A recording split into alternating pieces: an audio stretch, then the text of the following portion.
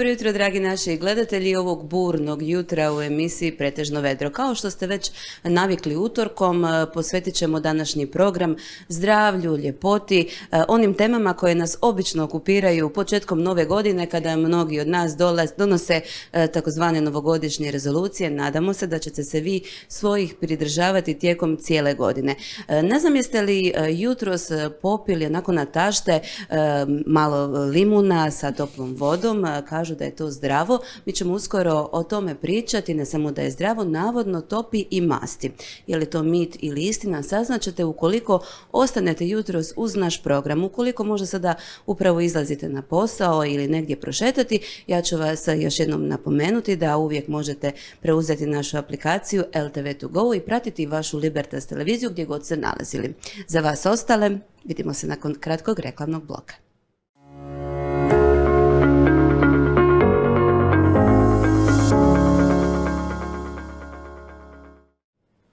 Ponovno smo zajedno u našoj redovitoj rubrici Utorkom Nutri Gurman Schema. Pretpostavljate s nama je i jutros Mirna Sarić. Mirna, dobrodošla. Dobro jutro i dobro vas našla.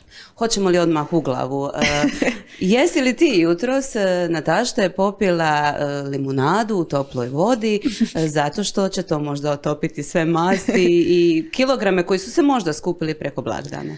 svakako se kilogrami malo skupili, ja sam uživala, ko što sam najavljivala da ćemo uživati svi, da su blagi dani. Ali evo sad kreću, ne bi reka restrikcije, nego onako smjernice koje prave smisla i koje imaju realne ciljeve. Jel?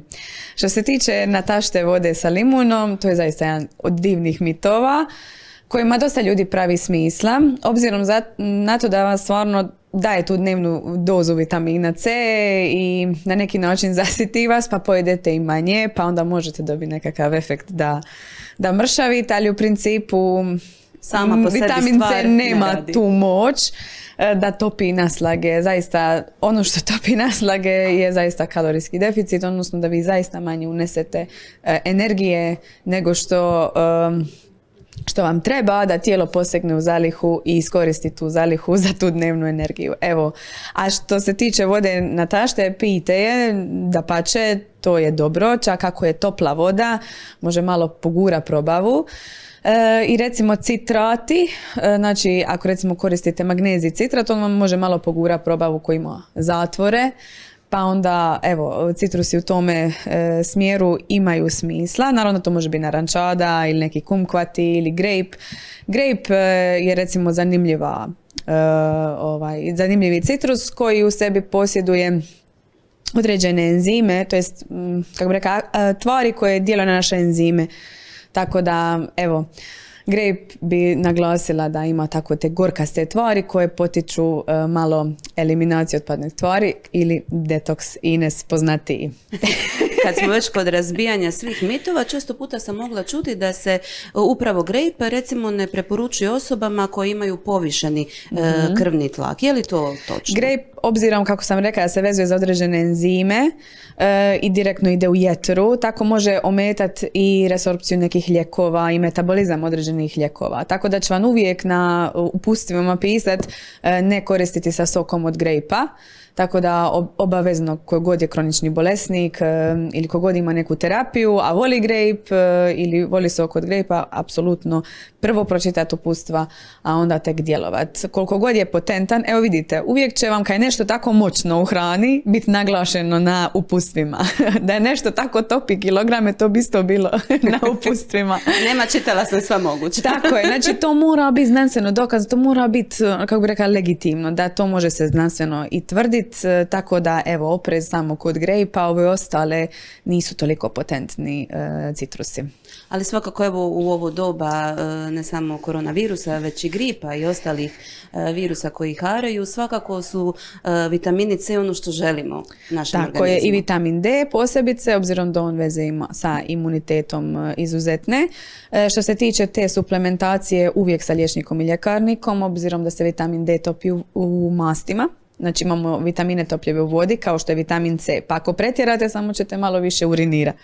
A sa vitaminom D postoji mogućnost da postoji, e, kako bi rekla, mogućnost intoksikacije, ali to je zaista rijetkost. Događa se, zato uvijek budite oprezni i pazite na one preporuke na poleđini samog suplementa. Pogotovo što sada smo nekako skloni svi kupovati na svoju ruku, a znali smo prije često puta čuti da ćemo vitamina D skupiti sasvim u dovoljnim količinama prilikom izlaganja suncu, kako je dovoljno 15-minutno izlaganje, mhm. kako bismo dobili dovoljnu količinu vitamina D. Međutim, često puta sam sad čula, mnogi onako među sobom pričaju, ma kupi vitamin D, kupi vitamin D, mhm. na svoju ruku ipak nikad ništa, tako? E, da, bez konzultacija sa stručnom osobom. Zaista uvijek, su tu, uvijek je tu stručno osoblje koje zna s time. E, sa minimalnom dozom ipak nećete faliti da pođete na svoju ruku koja je pripisana. E, ali neke megadoze, onda tu zaista kada dođe do posljedice, onda znate da ste sami krivi, jeli? Dakle, ni začina preko načina, to je tako zlatno je, pravilo. Tako je, uvijek razum. Dajte razum prvo i onako znanstveno potkrepljeno e, pozadinu, da onda budete sigurni i sa vitaminima. Ništa nije beznačajno. Ako je topivo u vodi, ajde, možete se igrati s vitaminom C i B. Iako vezuje vitamin B, recimo mit da se ljudi debljaju od njega, a u principu vitamini B su izrazito potentni e, kod recimo živčanoga sustava, B6, B12, u namicanju energije sportaši vam izuzetno trebaju, trudnice vam trebaju vitamin B, e, osobe recimo sa multiplom sklerozom i tako dalje, znači kronične neke bolesti autoimune bolesti, to vam jako crpi i vitamin B i vitamin D. Tako da kod određenih kroničnih stanja i ovih modernih bolesti vitamini imaju smisla i veće doze imaju smisla. Ali to opet kažem vam, ne može se sad reći, evo, ja ću sad bubnuti tu i tu dozu. Nije onako preporuka generalna za sve. E, znamo da. nismo baš bili razumni tijekom blagdana mhm. i božićnih i novogodišnjih. E sada, koje namirnice će nam e, pomoći u detoksikaciji? Evo spomenuli smo mhm. limun, e, džumbir je sigurno uh negdje u, tu kombinaciji. Da, takva nam je i ričeta današnja. Ovaj, kombinacija limuna, džumbira i kurkume, čak i kurkumoidi. Znači bilo kakve bioaktivne komponente u hrani koje su onako malo gorkaste.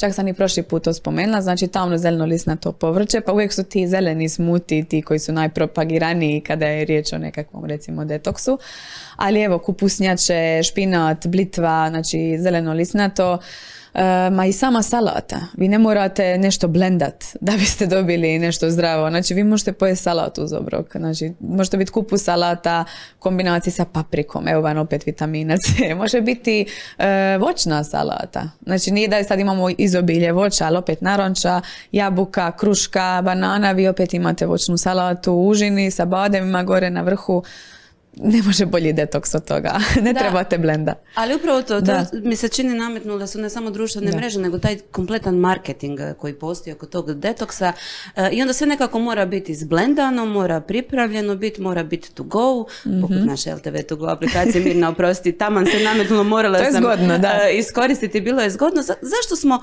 toliko skloni sve, zapravo stalno potpadati po taj marketinški utjecaj? mm Zašto evo jednostavno ne možemo pojesti salatu samo po sebi? Uvjere nas da ne možemo sami i da nemamo vremena. Stvar je, ja mislim, samo percepcija uvjerenja, jer ako se dovoljno rano dignete, pa možete prostiti robu, pa staviti novu, pa ne znam nija što, pa možete i, i uh, oguliti jabuku, nasjeće i staviti u posudicu ili samo uzeti jabuku sa sobom. Uh, čak je, ja se sjećam, Amerika imala the fastest fast food i stavili su bananu kao da se samo doslovno oguli i pojede. Znači to je bila propaganda, da se jede više voća. Eto, dakle, toliko... Što može biti brže od, od toga? Eto, znači ne morate niti prati. E, tako da, e, sve je stvar propagande. Ona može ići u smjeru jeli, da promiče pozitivno, da promiče pravilne prehrambene navike. E, tako je bilo sad ove male životinjice jeli, u obliku brokule i tako dalje. Na taj način se propagira i ono dobro, ali uvijek su vam ove prehrambena industrija igra uvijek u svoju korist, to, to je tako. Mislim, ne možemo protiv toga. Ali ima istraživanje sada provedeno od strane Zavoda za javno zdravstvo e, da svako treće dijete poželi e, hranu koja se reklamira na televiziji. Evo Freško jutro sam slušala. Dakle, znači, ono što gledamo zapravo želimo i jesti. I želimo jesti. Znači ono smo i što gledamo, ali ono smo i što razmišljamo. Znači taj kritički stav je nešto što čemu težimo i zato ova rubrika postoji kojim svaki put jačamo taj zdravi razumsko razmišljanje e, i znanstveni utemeljeni pristup i naravno nekakav kompromis. Naravno da vi morate biti ljudi na kraju dana i reći ok, ovo sam dobro napravio, ali dajte da je 60-70% to onako što tijelo zaista treba, a onda ono što zaista bi htjelo, želilo i tako dalje, ako u životu. Je. Taj neki guilty pleasure, smijemo ga tu i tamo e, sebi. Njegovati, to je u redu, to je ok. To je okay. E sad, čisto, zanima me razlike između e, krute i tekuće uh, hrane. Zapravo Dobro. čini mi se u posljednje vrijeme da ti detoksi upravo idu u smjeru te tekuće hrane uh izbacivanja krute. Kako to mhm. funkcionira? u organizmu? Pa ovako, sad ovisi koliko ima vlakana, znači hrana kada uđe u probavni sustav ima cilj da se razgradi. Više enzima ćemo koristiti svakako što je hrana kruča i što je termički ne, kako bi rekla, nepripremljena. Zato mi termički obrađujemo hranu. Da enzimi mogu doći do e, samih veza, pokidati ih i da mi možemo dobiti nutrijente iz njih. Jeli? a one aminokiseline, čuvene, glukozu i tako dalje. To su sve veliki lanci kad ulaze u obliku hrane. Kad vi nešto izblendate, kod da onu malu kašicu napravite za dijete, normalno da ćete dobiti prije nutrijente i da će se tijelo na neki način manje mučiti. Pa je možda to neka svrha i pozadina e, toga detoksa da vam to kao prođe kroz vas. Ali isto tako znajte da kako tijelo nije upotrijebilo enzime u želucu, u tankom crijevu da to probavi, vrlo brzo mu se to apsorbiralo u krv i onda je diglo i glukozu visoko. Tako da sve vam ima svoju priču. Znači, dati tijelu da kako bi rekla, da se bori s tom hranom. Nekad ti prehrambeni enzimi, ja ih znam koristi u praksi, kod osoba koje imaju dispepsiju, znači ili imaju problem sa želucom, ili osobe koje e, imaju problem sa nadutosti. Znači negdje se nekakav enzim ne luči u dovoljnoj količini, negdje se hrana ne probavlja ili zbog stresa ili zbog manjka određenog enzima. Teško je znati što. I onda vam dobro posluži tropsko voće. Tako da dosta u smutiću ćete uvijek naći nekako tropsko voće. Ili ananas, ili mango, ili papaja. Znači papajin, bromelain, to su vam sve enzimi koji se nalaze u tropskom voću, a oni vam e, djeluju kao e, tako da kidaju lance u, proteinima i tako dalje. Znači pomažu i našim enzima da se bolje razgradi hrana. Tako da vi možete pojesti ananas iza hrane, možete bolje probaviti nekakav proteinski obrok, jeli steak i onda uz to ananas, to vam se zna u Južnoj Americi servirat, da oni bolje probavljaju. Ja nisam znala što je to, onda kasnije mi upalilo, aha, e, ima smisla. Tako da, evo, hrana može biti nama prijatelj, ali moramo je malo poznavati. Kruta hrana, definitivno, ako postoje mehanizmi, ako možemo žvakat, se preporuča, jer moramo jačati naše mišiće, žvačne i sve žive enzime duž cijelog probavnog sustava, ali samo tekuća hrana po meni dobra je ako je nekakav post u igri ili nešto da nam malo lakša tijelo ok, ok, ali da je to nekakva ono, obrazac, e, definitivno nije. Čak i kod bolesničke prehrane kad se preporuča tekuća, ona traje svega 3 do 5 dana, nakon toga već polako kreće kruta hrana. Uvodi se kruta hrana, ne treba ni o tome predjediti. Što je sa e, takozvanim fastinzima, odnosno sa postom koji mhm. traje na svakodnevnoj bazi, a nekako se u e, vremenskim razmacima kombinira, uh na primjer 8 sati dnevno jedete, onda 16 sati postite. postite. Odličan mehanizam da vam reću uh, prestanite jesti. prestanite jest dio dana, stavite jeli kao uh, zip na usta. Uh, super, opet propaganda. Opet propaganda bi ja rekla, odmor od hrane svakako. Super. Ja sam svakako i za postove i za nešto što vam pravi smisla ako je cilj redukcija. Jeli, onaj ko ne bi smio postiti osoba koja radi na mišićnoj masi, recimo neki sportaš koji svako tri sata mora hraniti svoje mišiće da ne bi izgubili e, svoj volumen i, i, snagu i tako dalje. Isto tako mala djeca u razvoju nema, nema smisla postiti, čak i preko noći oni se bude da ne poste. E, trudnice, šećeraši, vi ako postite pa ćete u hipoglikemiju, tako da isto tako prehrambeni, kako bi rekao, neki obrazac ne vrijedi za sve, globalno za nekoga ko želi izgubiti kilograme, Odlično. Odlična metoda. Po, samo postite. uvijek nam sve tako lijepo razluči što mi se jako sviđa i sad imam još jedno pitanje za tebe. E, nažalost, po naše mhm. gledatelje jedno od posljednjih za ovaj put. E, sljedeći ponedjeljak kažu da je najdepresivniji dan u godini. Mhm. Možda od svih tih očekivanja kojih imamo, od novih početaka, od nove godine u koju polažemo toliko nada, onda se nekako suočimo i sa mhm. računima, sve se nekako smiri, više nema onih slavlja od prosinca. E, to je često puta jedno vrijeme kada nekako utjehu pronalazimo u hrani. Ovakvi su nekako mhm. tmurni dani, nema se gdje puno izaći, pa se onda poseže za takozvanom komfort hranom, onom koja nas na mhm. neki način tješi. Kako se mhm. kako tome doskočiti? Odoliti tome. Da. E, pa da, e, ako zaista postoji neka komfort hrana, Vidite u kojem dobu dana vas to traži. Uglavnom će to biti večer. Pa možete početi što ranije jesti u danu, da vas što kasnije, kako bi rekao, da vas prestane tražiti na večer i da ovaj, unesete neku boju u taj dan. Pa barem kroz eto tu salatu ili kroz neki sok ili kroz, znači kroz hranu unesete tu boju ili kroz tu salatu uh, u obroku uh, koji, koji dođe. Ili ako već pojedete burger pa dajte pojedite i tu salatu uz taj burger, naručite je, naručite i cezar salatu uz to ili neku vrstu salate. Eto, uh, pokušajte sami sebi obojiti na neki način i počnite se hraniti malo ranije ili barem prošetajte hrana, e, kako bi rekla, tjelesna aktivnost e, i svjež zrak i dobro društvo e, liječi svakako depresiju i, i nekakav pozitivni stavi male afirmacije dnevne, samo male i ako ih već zadovoljite, već ste, već ste na konju i već idete naprijed. To je to ono što mi sebi postavljamo možda ciljeve previsoko i želimo odmah sve riješiti, a zapravo možemo se umiriti jer do ljeta ima pola godine. Tako, tako je, ima pola godine, ali pola godine rada. Eto ga, progresivnog. Tako i svaki dan mali mm. koraci, ali ne smijemo odustajati. Da. E, naravno, naše gledatelje ćemo pozvati da uvijek mm utorkom budu ovdje uz nas, da onako riješimo sve te nekakve mitove mm-hmm. koji kolaju okolo društvenim mrežama. Evo, priznajemo, svi mi potpadamo e, pod njih. E, samo ćemo se nakratko sada dotaknuti i ove današnje mm koja je naravno rađena u suradnji s hotelom Lero. Mhm. nećemo sve otkrivati, ali ovako jedan mali intro.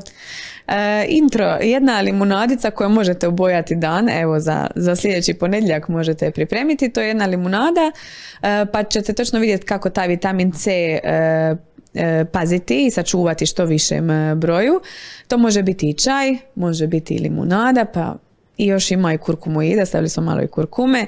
Mislim da će, se, da će vam se svidjeti. A lako je spraviti? Lako je spraviti svega pet minuta. Eto, upravo, dragi gledatelji, imate priliku sada pogledati kako ćete to napraviti. Mi preporučamo naravno da svaki dan popijete. Mirna, puno ti hvala, mhm. uvijek je s tobom zadovoljstvo razgovarati. Hvala, također. Ostanite uz nas.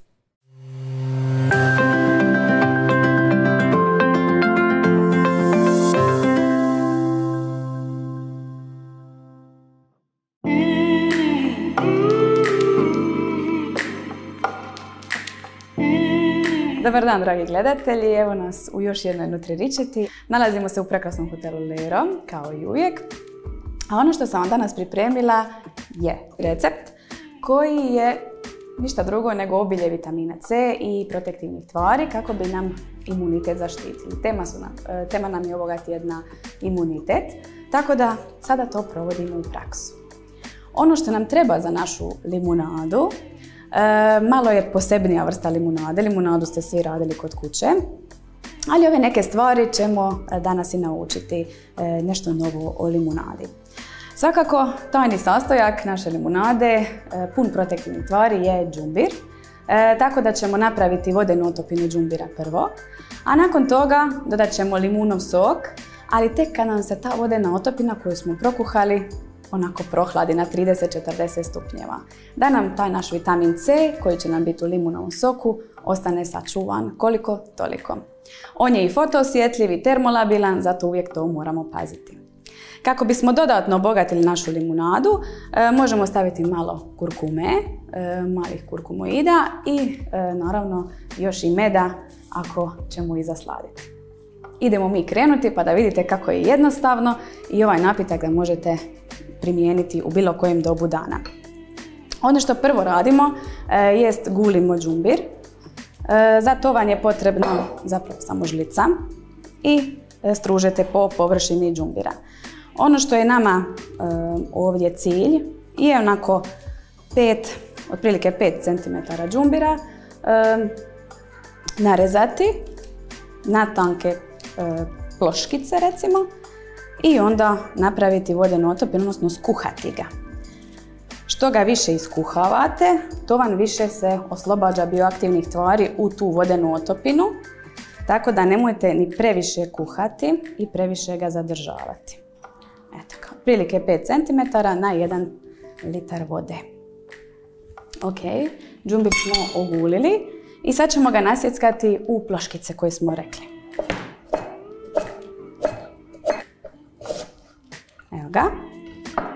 Ostavljam ih ovako. Stavljam u lonac. Raširite. Te prelite vodom. Sada ne stavljamo med. Tek kasnije. Razlog tomu što i bioaktivne komponente unutar meda su termolabilne. Pa želimo zapravo prokuhati vodu i ohladiti je na 40 stupnjeva. A to vam je da možete staviti prst nesmetano u to. Ok, e, ide na kuhanje, e, jedno 5 do 10 minuta držimo u vodenoj otopini, a onda tu vodenu otopinu procijedimo i čekamo da se ohladi, da bude mlaka. A onda stavljamo e, naš limunov sok i med. Evo ga, sada ćemo našu limunadu i prezentirati, odnosno dovršiti. Ovdje nam se nalazi vodena otopina džumbira koja je lijepo mlaka, negdje 30-40 stupnjeva. Provjerite sa prstićem je li valja. Nakon toga dodat ćemo svježe cijeđeni limun. Nismo ga prije toga cijedili jer smo rekli da je vitamin C i termolabilan i te, e, fotoosjetljiv. Evo ga, sada ćemo ovu polovicu staviti u naše cijedilo i iscijediti ovdje. Naravno to može biti i obično cijedilo. I sada naš limunov sok stavljamo u džumbir, vodenu otopinu. Procijedili smo je prethodno, vidite da nema komada džumbira unutra. Evo ga, posvjetlila je odmah boja. To vitamin C radi, obzirom da je antioksidans, onda mijenja i pigmente u svjetliju nijansu i tako čuvate boju, recimo, u kolačima i od oksidacije. Stavljamo med. Ovo nam je recimo cijela jedna litra a za cijelu familiju. I mi će nam se lijepo rastopiti. Obzirom da je lijepo mlačno, a sačuvali smo sve nutritivno obilje unutra. E sada, napitak nam je gotov, naša limunada nam je gotova i lijepo ćemo je prezentirati.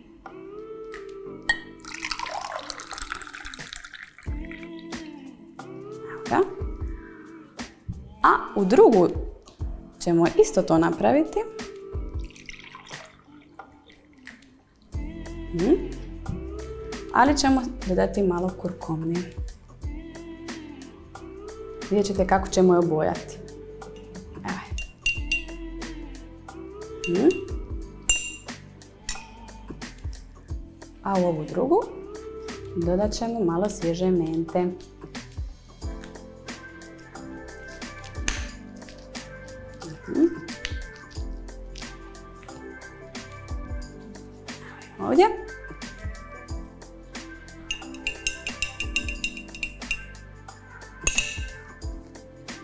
Ne morate je piti na tašte, možete je piti lijepo kada god želite u danu. E, nije to sada neka ovaj, frka. E, dobit ćete vitamin C, nutritivno obilje, čuvati imunitet i nastojite staviti i džumbira i kurkume i mente.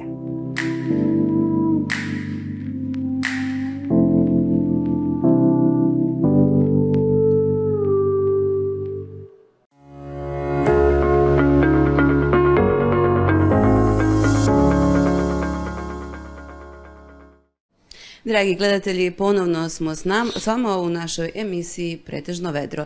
I danas ćemo u našoj rubrici Zdravlje i ljepota koju radimo u suradnji s poliklinikom Marin Med razgovarati naravno o zdravlju i važnim temama. Pozdravit ću ovdje u studiju doktora Nikšu Kojića. Dobro nam došli. Hvala lijepa, pozdrav vama, svim gledateljicama i gledateljima Libertas televizije. Evo, za ovaj utorak e, odabrali smo razgovarati među ostalim i o barokomori. E, kada se ona preporučuje i zapravo e, na koji način ona donosi dobrobit ljudskom tijelu? Ma, dakle, u samom nazivu terapija hiperbaričnim kisikom, oksigenoterapija, kisik je život. U mnogim stanjima, u mnogim stanjima našeg organizma akutne posljedice ili kronične posljedice ostavlja manja kisika. Za funkciju svake stanice kisik je osnovni proizvod koji je potrebno unijeti svakim našim udahom. Kod stanja ostavljene cirkulacije ili stanja starenja ili stanja produžene upalne reakcije organizmu, stanice ciljnog organa ne dobivaju dovoljno kisika. E, to uzrokuje bolest organa ili bolest cijelog organizma. Zato je već decenijama u svijetu terapija hiperbaričnim kisikom e, jedna od terapija izbora za mnoga stanja. Dakle, zapravo nedostatak kisika na staničnoj razini. E, mnogi od nas zamišljaju baro komoru, mnogi od nas su, e, nažalost ili na sreću, e, imali i to iskustvo, zamišljaju kao nekakvu cijev koja je poprilično zatvorena, onako oni koji pate od klaustrofobije, nije baš da mogu izdržati taj tretman koji traje između 60 i 90 minuta. Međutim, u novije vrijeme, kako izgledaju te baro komore? Ma, zahvaljujući razvoju tehnike e, naše baro komore su zapravo otvorene. One nisu od željeza poput cijevi nekakve ili podmornice. U onu klasičnu baro komoru nija ne bi bez velikog jada ušao. Ove su od akrila i one su zapravo, zapravo otvorene one su klimatizirane i pacijent gleda televizijske programe po svom izboru tako da mu tih sat vremena brzo prođe. Sad hoće li Netflix ili sport, na njemu je već ili Libertas televiziju. tako je, na njemu odluka onda je doista e, taj tretman, odnosno terapija koja obično traje između 20 dana i 30 dana, pretpostavljam naravno e, ovisi o tome o čemu se Nekad radi. Nekad i duže i po 60 dana recimo za aseptičku nekrozu kosti kuka ili koljena, to je i po 60 tretmana. Da bi se postigao rezultat da bude kuk ili koljeno spašeno i pacijent zadovoljan. E, znamo obično da barokomora onako najčešće su koristili ronioci, spašavaju živote. E, u kojim situacijama još je hitno zapravo početi koristiti barokomoru? E, dakle, samo par stanja je hitno gdje je ona nezamjenjiva. To je svakako ronilačka bolest, to je trovanje monoksidom, to je paraliza akutna lica i još ima par stanja koji su baš hitni, to su neke ozljede ili e, propadanje tkiva nakon kiruških zahvata, teške infekcije a sva druga stanja koja liječimo barokomorom su kronična i pacijent se može na vrijeme informirati, dobro pripremiti, a priprema je jednostavna, samo treba imati pamučnu odjeću kad se ide u barokomoru i zapravo drugo ništa. Kontraindikacije, dakle oni koji ne bi smjeli u barokomoru, to je izrazito, izrazito mal postotak takvih pacijenata, praktično se to i nesreće da pacijent ne može ići u barokomoru. Tako je, kad smo odmaknuli ovu klaustrofobiju sa strane, spomenuli ste naravno pamučnu odjeću, ne smije odjeća biti zapaljiva, zašto? Zato radi kisika. Ona je apsolutno sigurna, zato što osim što je tehničar uz, uz, uz pacijenta, postoje višestruki sigurnosni e, sustavi da se ne dogodi nikakav incident. Nije se nikad dogodio, ali eto, Predostrožnost valja, je. valja predostrožnosti radi, jer jedino pamučna odjeća, drugo ništa. Što se zapravo događa s našim a, tijelom? Mi dobivamo 100% kisik, kako sam dobro razumjela, na povišenom tlaku. Tako je, tako je. Mi smo sada stlačeni ovdje gdje sjedimo na jednu atmosferu atmosferskog tlaka. I kisika ima koliko ima u postotku u udahnutom zraku. E, Jedini način da se u plazmi, ne u eritrocitima, nego u plazmi, dakle u vanstaničnoj tekućini, e, dobavi velika koncentracija kisika, to je da se udiše 100% kisik, medicinski 100% kisik pod povišenim tlakom. Je li to jedna i po, dvije, dvije i po atmosfere, ovisi o protokolu liječenja e, stanja. Jer, e, tada se stostruko poveća količina otopljenog kisika u našoj plazmi, e, kako krvotok s krvotokom dolazi taj kisik do ciljnih organa, e, nastupa ozdravljenje, poboljšanje ili ozdravljenje. Dakle, ne možemo samo pravilno udisati, disati, duboko, naučiti tehnike da bismo uspjeli dobiti. Zasigurno to pomaže, Pomaže. ali na ovaj način se u sat vremena ubaci ogromna količina kisika u naša tkiva. Jer e, u svijetu je zadnji krik e, otkriće da se te telomere koje su na našim kromosomima pokazuju starenje. Starenje je nezaustavljiv proces, nažalost. Nažalost. Da se te telomere koje su biljeg starenja e, korištenjem barokomore produžuju. E, I sada je pomama u svijetu ne anti-aging, nego reverse aging. E, pomicanje biološkog sata unatrag e, korištenjem barokomore. Poput To je veliki- Benjamina. Po- poput Benjamina Buttona. Jedini je trik oni koji su pušači na cigaretama idu bar u komoru, nema nikakvog smisla jer se monoksid 200 i koliko puta, ako se ne varam, e, veže više za eritrocite, on se ovaj, proizvodi cigaretom. Ovaj, tako da onda to ne bi imalo smisla, drugo sve je ok. Dakle, evo, poticaj za one koji žele izgledati mlađe, koji žele Tako obnoviti je. svoje tijelo, da prije Tako svega naravno se ostave te e, loše navike, prestanu pušiti i onda možda u Marin Med e, na barokomoru, no o tom potom. E, cijeli svijet trenutno ne može disati od pandemije koronavirusa. Jednostavno, brojke su neumoljive, rastu iz dana u dan, kako u Hrvatskoj, naravno tako i u cijelom svijetu. No ono također što još mori naše građane je takozvani post-covid sindrom. O čemu se tu radi? Ma, vidio sam priličan broj takvih pacijenata, to su, nažalost, nesretni ljudi. A, najčešće su dobili teški oblik covid jer se nisu cijepili, ali to je ovaj drugi dio priče van ovog našeg razgovora. Dobili su teški oblik covida, završili su u bolnicu 10-15 dana, borili su se tamo za njih, ili su bili na covid odjelu ili su, ne daj Bože, bili u intenzivnoj, E, postali su negativni, njihovi brisevi su negativni, oni su uvjetno zdravi, ali nisu zdravi. Zato što ih muči e, post-covid sindrom. Post-covid sindrom je jedan, jedna grupa, jedan zbir simptoma koji se sastoji od kostobolje, bolova zglobova, glavobolje, nesanice, smušenosti, nedostatka zraka, opće slabosti, bezvoljnosti, bestiljnosti. E, Covid je vjerojatno opalio druge organe, ne samo pluća. Jesu li to bubrezi, je li to jetra, jesu li to mišići? E, svakako ti pacijenti se ne mogu izvući iz tog e, začaranog kruga e, lošeg osjećanja i lošeg stanja. Za sad se pokazalo da je jedina terapija hiperbarična oksigenoterapija, to je barokomora. Protokol je relativno jednostavan, to je samo 10, kako se kolokvijalno kaže, zarona, 10 tretmana, 10 dana i to je to.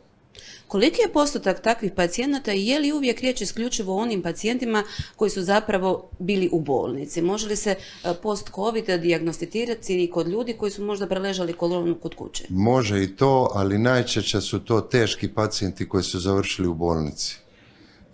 njihove tegobe su jako teške. Jako teške zato što se ničim ne mogu izvući iz tog stanja. Naravno, potrebno je dokazati da nije neko drugo stanje u, podlozi. Ali najčešće oni zovu, evo obašla sam internistu, kardiologa, neurologa, fizijatra, sve doktore, svi su rekli da oni ne vide ništa. Da, zato što je oštećenje u nekakvom mikrosvijetu na nivou stanica, na nivou neurona ili nečega gdje je nesretni COVID virus napravio štetu. Štetu na ciljnim organima. Jel? E, mnogo puta se može čuti e, dok onako razgovaramo u nekakvim e, razgovorima uz kavu kako korona obično udara tamo gdje smo najslabiji. Je li to istina? Ma je,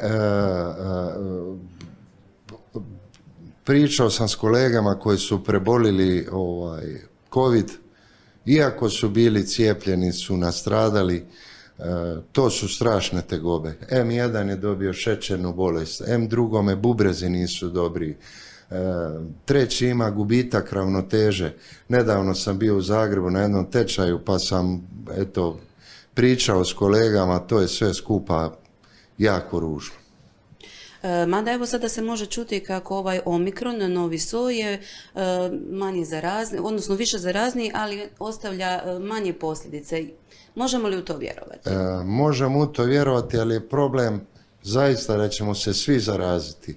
I onda će biti puno pacijenata od tih puno, iako je manje, nazovi, manje oštećuje ovaj omikron soj, opet će biti jako puno teško bolesnih ljudi, najvjerojatniji.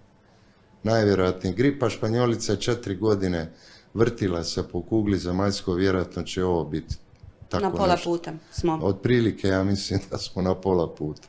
E, rekli ste barokomara e, može pomoći. E, je li dovoljno i tu brzo reagirati e, ili ona ima utjecaja, hoće li ostaviti dobar e, učinak na naš organizam ukoliko možda i nakon par mjeseci što se mučimo s post-covidom dođemo Može na i nakon par mjeseci, a naravno što, što, prije. što prije to bolje. E, bitno je da je ona neštetna, dakle nema krvi, nema injekcije, nema nikakvih snimanja, nema nikakvog maltretiranja pacijenta, on ide u jedan e, vrlo lijepi, uredni, mirni prostor gdje se može skoncentrirati na jednu jedinu stvar, a to je udisanje kisika. Udisaj i izdisaj što samo po sebi smiruje i opušta. Tako, Pretpostavljam da liste čekanja jesu ili nisu velike? Radimo, mi radimo prioritete koje je zaista medicinska žurna potreba, mi mu izađemo u, u susret. Nekako to snađemo se. Lista prioriteta, dakle, uvijek je, ipak je, postoji. Dakle, ovi koji su naši, ne možeš ih zvat pacijenti, nego klijenti radi beautya ili radi podmlađivanja, oni uvijek mogu pričekati. Tako je, pričekati ja pretpustiti naravno potrebitamo. E, moramo se dotaknuti i e, teme cijelog e, zdravstvenog sustava koji doista posljednje dvije godine je pod pritiskom. Vaše kolege naravno danonoćno rade. Izloženi su i brojnim prilikama kada ih se nažalost vrijeđa, proziva. Doista je jedno nezgodno i grubo vrijeme u kojima živimo. Zaista je grubo vrijeme, jedan nervoza, medijska nervoza među nama, sve skupa to ne sliči na dobro. Jučer sam slušao ministra Beroša, pa je pripomenuo da je moguća ugroza sljedeće turističke sezone ako iz Europe nas stigmatiziraju zbog malog broja cijepljenih. Nisu to šale, to je jednom birokratskom odlukom mogu nastupiti veliki problemi kod nas, baš zbog toga što nismo svi cijepljeni. Evo, ministar Beroš upravo je jučer bio u posjetu Dubrovniku, Dubrovačkoj bolnici. Dragi gledatelji, naravno u vijestima u 17.30 imat ćete priliku vidjeti o čemu se e, među ostalim razgovaralo i sa ravnateljem Bekićem i sa čelnicima grada. E, dobro ste rekli, e, nervoza koja vlada u medijskom svijetu na svakodnevnoj zapravo razini, očito nam više svima popuštaju živci, dugo živimo u nekom balonu, što evo možda možemo svi mi napraviti na dnevnoj bazi da se ta nekako situacija ublaži? U šetnju i na svježi zrak. Uvijek dobra preporuka. E, Puno vam hvala što ste danas e, bili gost Hvala naše emisije. Hvala lijepo. E, Dragi gledatelji, vas ću naravno pozvati da i dalje ostanete uz naš program. Podsjetit ću vas još jednom da uvijek možete skinuti našu aplikaciju LTV to God i tako pratiti, kao što je doktor rekao, u šetnji na svježem zraku i vašu Libertas televiziju. Ostanite s nama.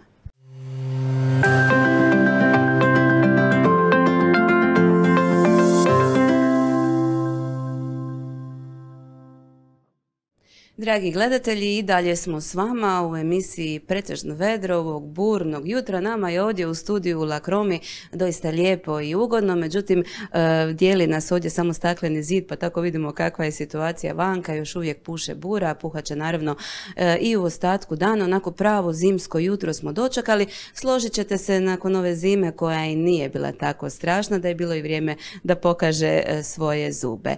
Mi ćemo i ovog utorka zapravo posvetiti ovaj dio naše emisije Društvu za zaštitu životinja na Žarkovici. Pratimo ih, kao što ste pretpostavljam primijetili u našem programu, još od ovog ljeta redovito posjećujemo njihov azil, redovito radimo intervjue sa brojnim volonterima koji nesebično pomažu e, životinjama, brinu se o njima, brinuli su se o njima na onim e, visokim temperaturama tijekom ljeta, isto tako brinu se o njima i sada kada puše bura, vjerujemo da nije toliko ugodno biti vanka na temperaturama, međutim volonteri ne odustaju. Ne odustaje ni naša reporterka Mija Josipović koja prati situaciju na Žarkovici doista proteklih nekoliko mjeseci. E, Redovito e, vas izvještava o tome e, koje kućne ljubimce možete udomiti jer naravno uvijek je preporuka udomiti ukoliko naravno imate priliku, imate volju i želju udomiti nekog kućnog ljubimca, ne kupovati ga. Ovaj put naša Mija ponovno se zaputila na Žarkovicu u onoj našoj redovitoj turi ponedjeljkom. Pa evo pogledajte e, koga je ovaj put upoznala. Samo što ću vam reći je taj detalj da je riječ o jednoj sramežljivoj e, ženki. Pa eto za sve vas koji se možda prepoznajete u opisu tog karaktera e, predlažem da sljedećih nekoliko minuta provedete uz naš program.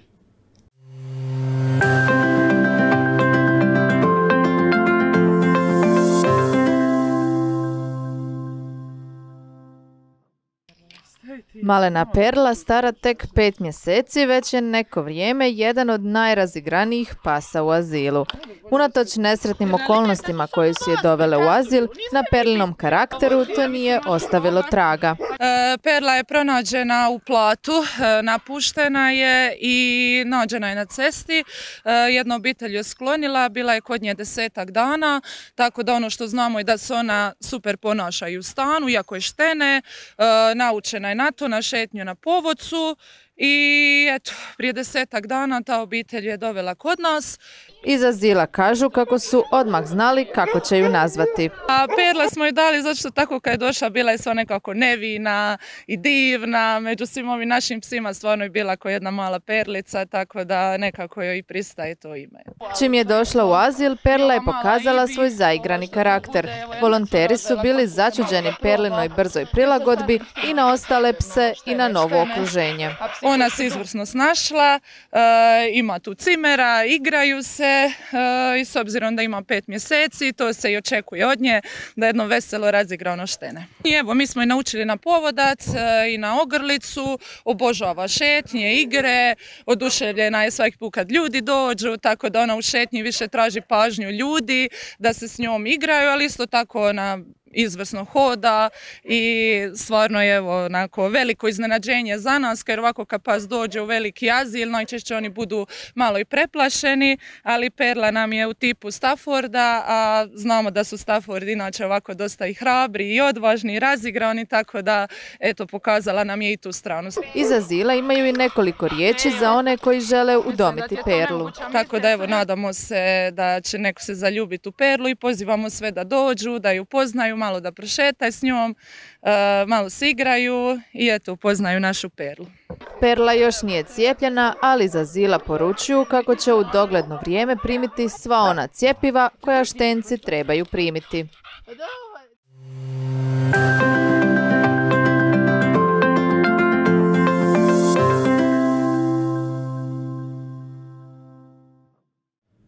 Dragi gledatelji, pozdravljamo vas još jednom u emisiji Pretežno vedro. Ovih dana objavljeni su finalisti finalnog kruga prestižne medijske nagrade e, Zlatni studio. E, nažalost, kazalište Marina Držića nije prošlo u finale, no jako nam je drago reći kako je naša glumica Gracija Filipović, koja je ove godine jednostavno zabljesnula u filmu Murina, ušla u finalni krug i to u kategoriji najbolje glumice. Graciju Filipović, tu mladu glumačku nadu uskoro ćete moći vidjeti u emisiji Žene, točnije sutra, od 21 sat. Isto tako u finalni krug i za najbolju pjesmu godine ušao je Dubrovački Ben Silente koji kaže Poljubi me za kraj. Ostanite s nama.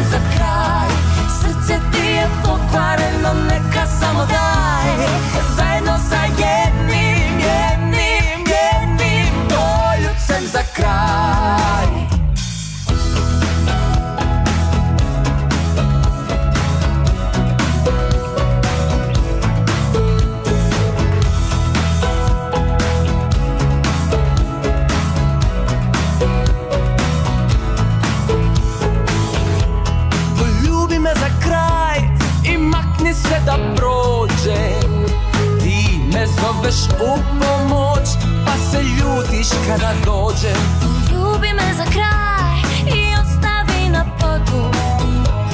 Ti što guraš ljude od sebe Pa plačeš kada odu. Srce ti je poklon